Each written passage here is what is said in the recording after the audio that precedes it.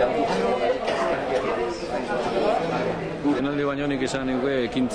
Nola aiteko barnekoa, eta izan da, berak urte luzetan jantzi izan duen domina, ba, buru ordeak eta buruak biok jarri diogu bere gorpuaren gainean, jendea ona aurreratzen denean ikus desan, hain zuzen ere, nor zen e, Ian Arixelar eta bere Euskal Tzaindia izate hori hor irudikatuta e, agerradin. Eta Euskal Tzaindi izate horrek dauka edo bakar berarekin baita ere Euskara eta Euskal kulturaren aldezle eta sustatzaile zutzua e, izatea janen kasuan. Ipar zein egoan edo hobe esan da Euskal Herrik osoan.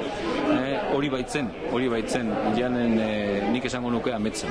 Etorkizun hobe batean, ba, Euskaldunok bizi izatea Euskal Herri batean, eta Euskal Herri horretan hain zuzen ere Euskara eta Euskal kultura hain zuzen ere esanguratzu izatea.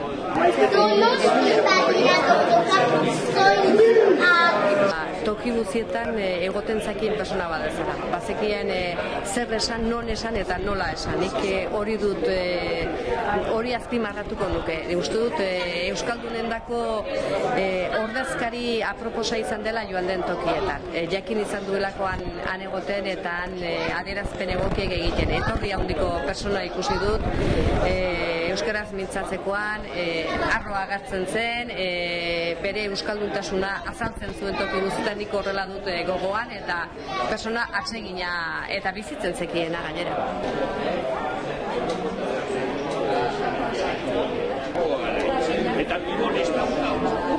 Bai, bon, eskoltzalea mogatua, baitut irudi batzu, horitzen naiz e, e, korrikanik usi izana hor lehikuko hartzen, bereziki hor lagoita, ba, lagoita mekan, bai honan bukatu zelarik euripean, horregon zen, e, ordu batez korrikaren zai eta bere, bere, bere kilometroa edo egin zuen.